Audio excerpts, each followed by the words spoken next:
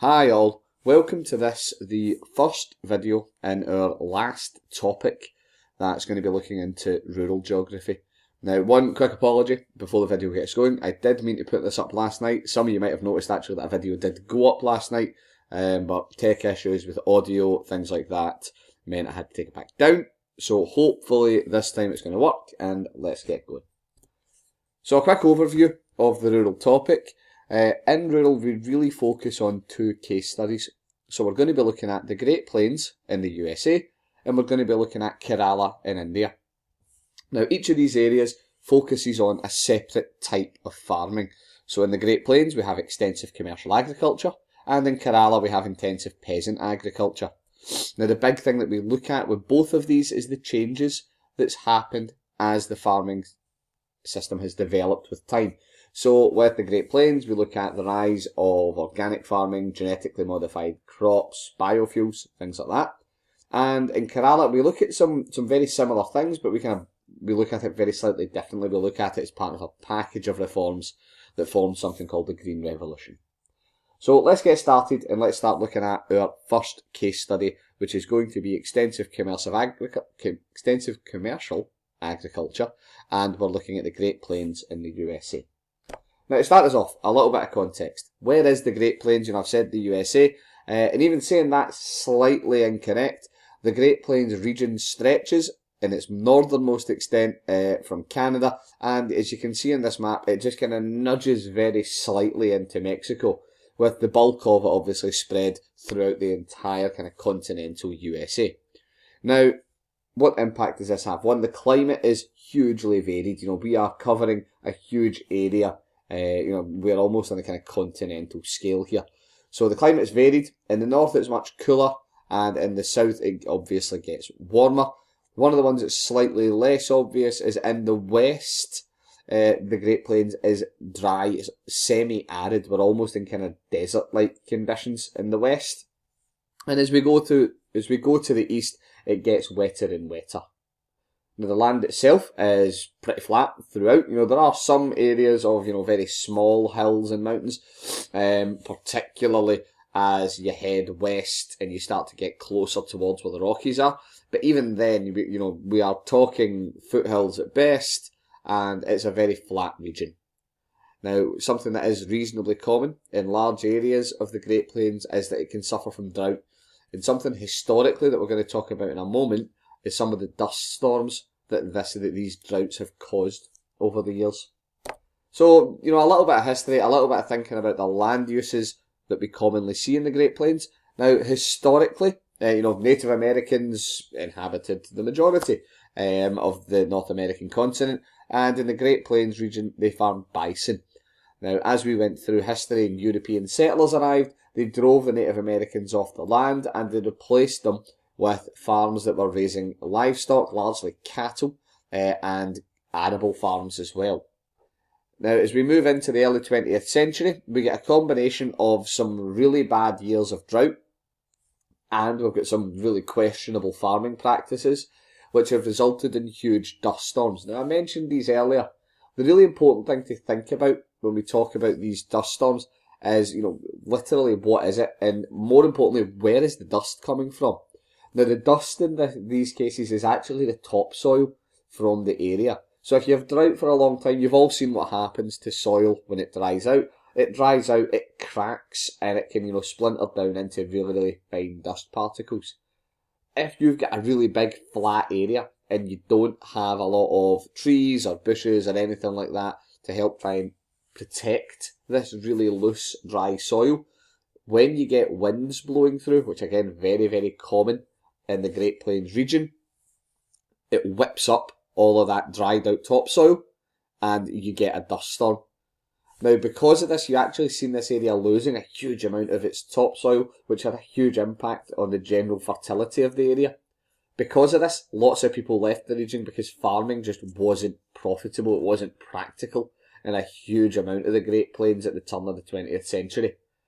This rural depopulation, oddly enough, allowed the farms that did remain to get even bigger, and that's been the kind of the, the predecessor, the precursor to some of the huge sizes of the farms that we see today. Now, today the population of the Great Plains is still really low, and for the people who do live there, I mean, the vast majority of them live in urban areas. And to give you a little bit of context, that's le- that's you know less than thirty percent of the land area in the Great Plains, because seventy percent of it is used for farming. So that just gives you an idea of how much of the land there is, uh, or how much of the land there is being used for this particular land use, uh, and basically how empty the Great Plains can be a lot of the time. So if we think about the, the farming systems that we actually see here, now again, it varies. We've already said, you know, the Great Plains is massive. Now over in the west, uh, where it's a little bit more arid, uh, we've got a lot of cattle ranching. You know, cows are a little bit hardier, they can cope a little bit better uh, in, the kind of semi-arid conditions. And as we go east, where it gets a little bit wetter, we start to see arable farms growing crops, very particularly wheat, cotton, barley, hay, corn, soybeans. There's a variety of things that these farms grow. Now, all of this farming is both extensive and commercial. We mentioned at the start of the video that this is called extensive commercial agriculture. And the reason for that is, one, it's extensive because the farms are massive. They extend over a huge area. They average out at 400 hectares, which, you know, to give you a comparator for that, that's about 400 football pitches per farm. Now, some of them get bigger than that as well. You know, particularly some of the really, really huge cattle ranches, they, they can be absolutely phenomenal in size. Now, the reason they're so large, one, the soil is fairly poor, as we've already said, and you need a large area then to turn a profit. We're talking about economies of scale here. You're generating that much of a product that you can afford to sell it quite cheap, but still make money off it. Also, this is helped by the fact that the land's so cheap. You know, again, we've talked about how we had huge rural depopulation, people moved away from the area, and basically we're trying to get rid of the land for as little as possible. You know, they were willing to sell it for very, very little. So that again, it leads you to having a lot of land that you can use to produce things, so it's quite cheap. Now it's commercial, and that's reasonably straightforward with commercial. We're talking about the idea that all of the produce, all of the livestock that's reared here is going to be sold on to turn a profit. Uh, you know, farming in this region relies really heavily on things like machinery, and one of the reasons it relies so heavily on machinery is machinery is cheaper than human labour, thus your profit margin can be greater. Uh, and two, the actual geography of the area, the fact that it's so flat, lends itself really well to using a lot of machinery. Now, this slide is a really good place to hit pause and just sit and have a look at this and maybe take some notes and digest some of it. But these are some of the kind of general, general, sorry, changes that we've seen in the Great Plains. Some of the reasons why we see them and some kind of specific examples of where these things have happened. So some of the changes we're talking about, the farms have got bigger. I've already spoken about that. This increases the output of the farm, the actual amount of uh, you know cows that it can rear or the amount of crops it can grow, and it happens because the land is fairly cheap. Now we have been seeing as we move, you know, through the 20th century into the 21st century, uh, new technology being utilised, uh, and we do this because it means the farm's more efficient and it does help us to combat soil erosion in a lot of places. And the kinds of things we're talking about, you know, using satellites to to navigate where we should be spraying pesticides and insecticides, uh, using them to figure out exactly where crops need to be irrigated and how much water they require, and even some places using you know laser leveling of the land so that the the machinery we want to run in the land can be used as efficiently as possible. We also improve the actual methods we use to farm, and again, this is largely done to combat soil erosion, but we're talking about doing things like when we plough a field, we do contour ploughing, which means we follow the contours, we follow the natural shape of the land, and it stops soil being blown away. Equally, if we cultivate in strips, so rather than clearing a whole field all at once, we do it in stripes, so the crops that are left protect the bare soil between them.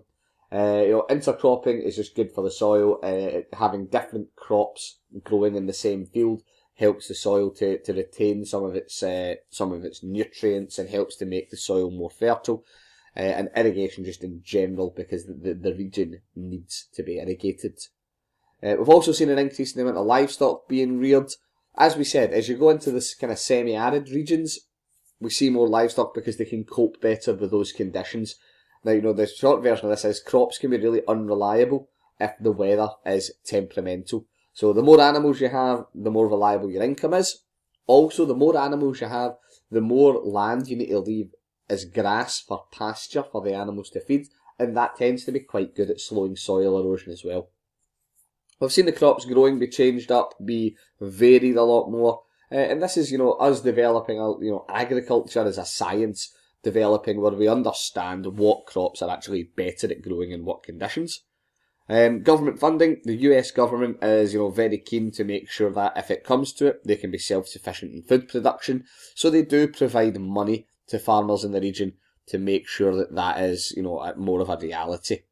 Uh, and we also see something we're going to talk about in a moment in a bit more detail, an increase in biofuel production. Now, you know, I'm going to jump straight into the biofuel stuff. So first, what is biofuels? Now, it's a more environmentally friendly uh, alternative to petrol and diesel. Uh, we make it from, you know, corn, sugarcane, rapeseed, which we ferment to produce ethanol, which we can then burn in engines.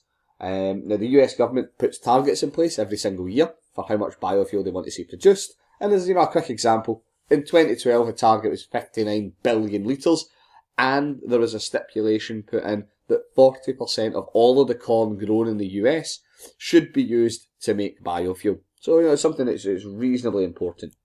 Now, pros and cons. And I'm going to start to pick up the pace a wee bit because we are running out of time and time.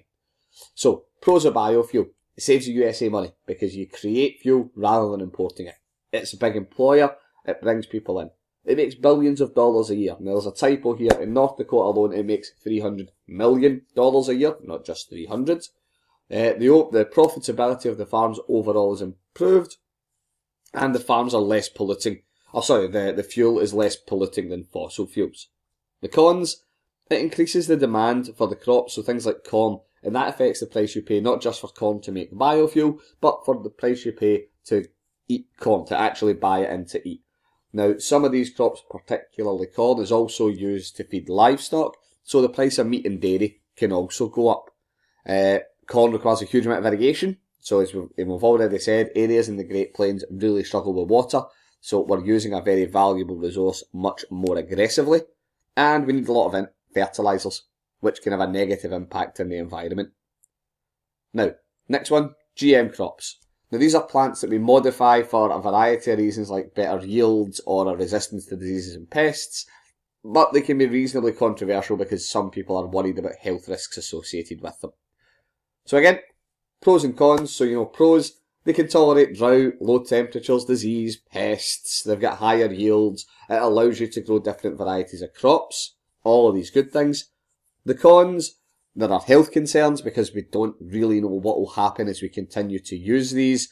The seeds themselves are expensive, so there's a concern that we'll see more uh, divergence in terms of, you know, rich farmers can have super seeds and poor farmers can't, so the rich get richer. The crops could damage other organisms in an ecosystem. Again, some of these crops we've not had out in the wild for uh, any particular length of time yet, so we don't know what the consequences might be. And one of the big things, you know, resistance to pests. Uh, insects could become immune to them, which limits some of the usefulness. Now, last bit here, and I know I'm going quick guys, but stick with me. So, organic farming. Now, I'm going to say most of you will know what organic farming is, but it's the idea of doing livestock or animal farming and not using any synthetic fertilizers, pesticides, hormones, antibiotics, whatever. Nothing artificial gets used. Now, the good side of this, some people say the stuff tastes better. We are talking about food for the most part after all. It stops people eating as many chemicals. As a system, it's very sustainable. It reduces the need to produce these synthetic fertilizers and pesticides which you combine that with an overall lowering of air and water pollution, it's good for the environment. Downside, the food is more expensive. Is there a market for it? You could argue yes, there is. Organic food's been around for a while now, but there is still a concern over its profitability. It's extremely labour intensive. It eliminates the use of GM crops and it's time consuming. And all of that adds to that expense in making these crops cost more. Right, we're going to call time there, guys uh, and I'll see you in the next video on intensive peasant agriculture. Goodbye.